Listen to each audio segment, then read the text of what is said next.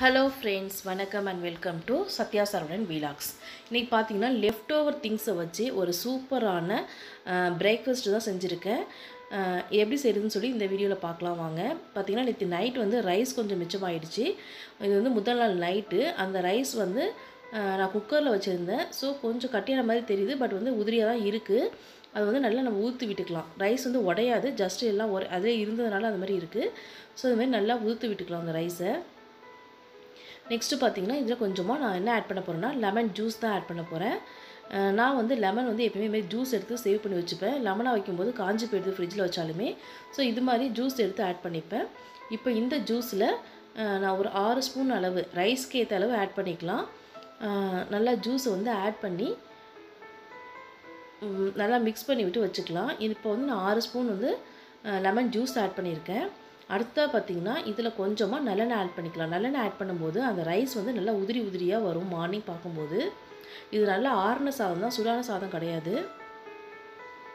சாதம் கெட்டிப்படாமல் நல்லா உதிரியாக வரும். அதனால் லெமன் ஜூஸும் நல்லெண்ணெய் மட்டும்தான் ஆட் பண்ணியிருக்கேன் இது ரெண்டையும் நல்லா ஆட் பண்ணி மிக்ஸ் பண்ணி எடுத்து வச்சிடலாம்.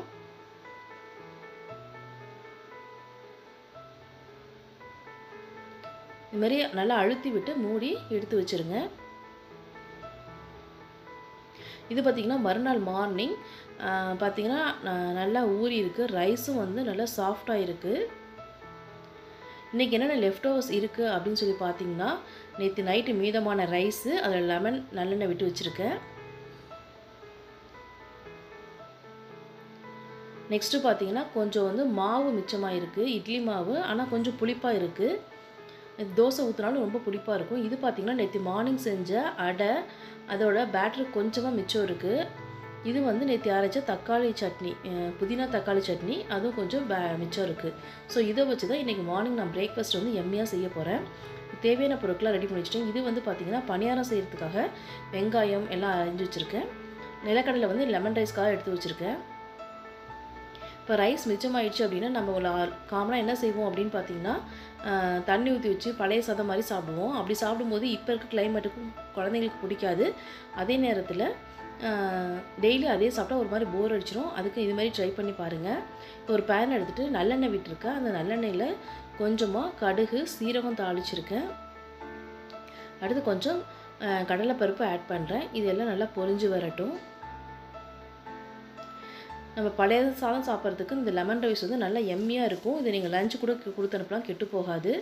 நெக்ஸ்ட்டு பார்த்தீங்கன்னா நிலக்கடலை பருப்பும் ஒரு நாலு காஞ்ச மிளகாவும் இந்த மாதிரி கிள்ளி போட்டு சேர்த்துருக்கேன்.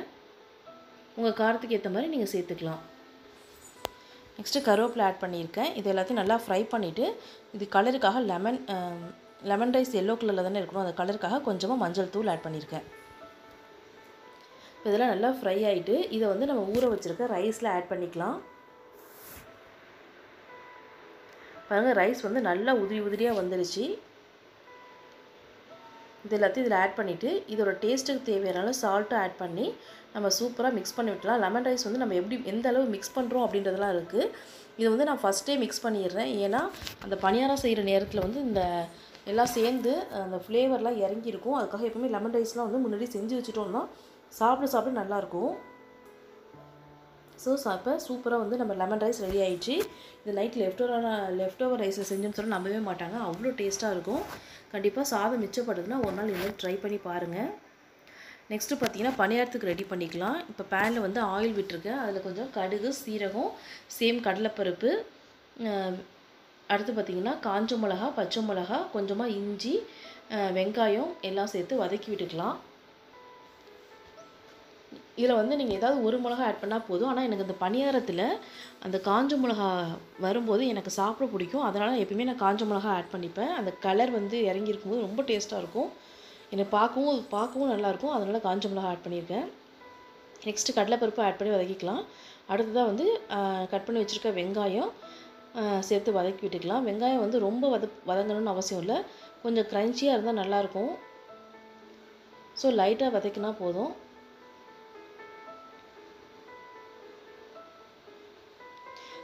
மாவு புளிச்சிருச்சுன்னா நம்ம வந்து தோசை ஊற்ற முடியாது. நம்ம என்ன பண்ணுவோம்னா நெக்ஸ்ட் டே புது மாவு அரைச்சி அதில் கலந்து தோசை ஊற்றிப்போம் அது மாதிரி இல்லாமல் இது மாதிரி பண்ணி பார்த்தா கொஞ்சம் டிஃப்ரெண்ட்டாகவும் இருக்கும் டேஸ்ட்டாகவும் இருக்கும்.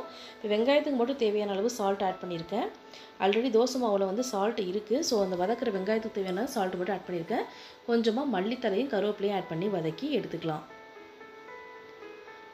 இது வந்து நீங்கள் ஈவினிங்கில் கூட ஸ்நாக்காக செஞ்சு தரலாம். மாவு கொஞ்சம் தான் இருக்குது அது தோசை ஊற்றினா எல்லாருக்கும் பத்தாது அப்படிங்கும்போது இது கொஞ்சமாக ஈவினிங்கில் ஸ்நாக்காகவும் செஞ்சு தந்துக்கலாம்.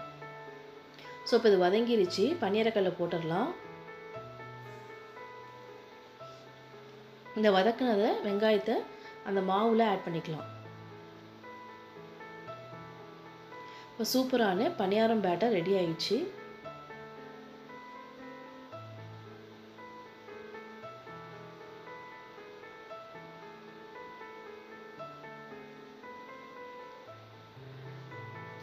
மாவு கம்மியாக இருக்கும்போது இது மாதிரி சேர்ந்து நான் ரெண்டு மூணு ஐட்டமாக செஞ்சுக்கிறதுக்கு நம்ம வந்து ஃபில்டாக சாப்பிட்ட மாதிரி இருக்கும். கொஞ்சம் பார்க்கவும் கலர்ஃபுல்லாக இருக்கும். இப்போ வந்து பார்த்திங்கன்னா பனியாரம் செட்டில் பனியாரம் ஊற்றிட்டேன் இங்கே பார்த்தீங்கன்னா நேற்று வச்ச சட்னி பேலன்ஸ் இருக்குது ஸோ அதை ரீஹீட் பண்ணிக்கிறேன். உங்களுக்கு தேவைன்னா அதுக்கு தேங்காய் சட்னி கூட அரைச்சிக்கலாம். பட் வந்து அது திரும்பி லெஃப்ட் ஓவராக சேர்ந்துரும். அதனால தான் நான் என்ன பண்ணிட்டேன்னா அந்த சட்னியோடய முடிச்சிட்டேன். ஏன்னா இந்த சட்னியே தேவையான அளவு இருக்குது லஞ்சுக்கு ஃப்ரெஷ்ஷாக ஏதாவது செஞ்சுக்கலாம் அப்படின்றதுனால இதோட நான் முடிச்சுக்கிறேன்.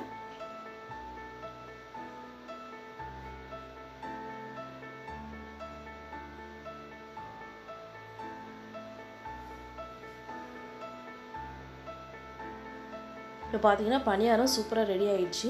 பணியாரத்தை எல்லாத்தையும் எடுத்துக்கலாம். சட்னியும் வந்து பார்த்திங்கன்னா ரெடி ஆகிடுச்சு ஆஃப் பண்ணிட்டு இருந்த ஸ்டவ்வை. அந்த பாத்திரத்துலேயே இருக்கும்போது கொஞ்சம் ஹீட் அப்படியே மெயின்டைன் ஆகும். அதுக்காக அந்த பாத்திரத்தில் அப்படியே வச்சுருக்கேன். சுடுதண்ணி இருக்க பாத்திரத்துலேயே வச்சுருக்கேன். இதுமாரி இருக்கிற எல்லா மாவையும் நம்ம பணியாரமாக சுட்டு எடுத்துக்கலாம். நெக்ஸ்ட்டு பார்த்தீங்கன்னா நம்மகிட்ட இருக்க லெஃப்ட் ஓவர் வந்து என்னென்னு பார்த்தீங்கன்னா அடமாவு தான். இந்த அடமாவை வந்து நீங்கள் அப்படியே எண்ணெயில் வந்து வடை மாதிரி தட்டி போட்டுக்கலாம். லெமன் ரைஸ்க்கு செம காம்போவாக இருக்கும். பட் நான் இன்றைக்கி என்ன செய்ய போகிறேன்னா அந்த பனியாரக்கல்லில் ஊற்றி பணியாரமும் ஊற்றிக்க போகிறேன் நீங்கள் வந்து பணியாரமும் வந்து கிட்டத்தட்ட வந்து அந்த அடை ஃப்ளேவரில் தான் வந்துச்சு. நல்லா கொஞ்சம் கிறிஸ்பாக எடுத்திங்கன்னா உங்களுக்கு வந்து இல்லை எனக்கு ஆயிலே சாப்பிட ஓகே அப்படின்னு தோணுச்சுன்னா நீங்கள் வந்து நல்லா வடை மாதிரி தட்டி எண்ணெயில் போட்டு இந்த லெமன் ரைஸ்க்கு செம காம்போவாக இருக்கும். இன்றைக்கி நான் வந்து பணியாரம் தான் செஞ்சுக்கிட்டேன். ஸோ பார்த்தீங்கன்னா இன்றைக்கி மார்னிங் பிரேக்ஃபாஸ்ட் வந்து லெமன் ரைஸ் லெஃப்ட் ஓவர்ஸ் ரைஸ்லேருந்து லெமன் ரைஸ் லெஃப்ட் ஓவர் அடைபேட்டில் இருந்த பணியாரம் அதே நேரத்தில் லெஃப்ட் ஓவர் ரைஸில் இருந்த பணியாரம் ரெண்டும் தான் செஞ்சு சேர்த்து சூப்பரான பிரேக்ஃபாஸ்ட் ரெடி ஆகிட்டு இந்த வீடியோ உங்களுக்கு பிடிச்சிருந்துச்சுன்னா மறக்காமல் சேனலை சப் சப்ஸ்கிரைப் பண்ணிக்கோங்க லைக் பண்ணுங்கள் ஷேர் பண்ணுங்கள் தேங்க்யூ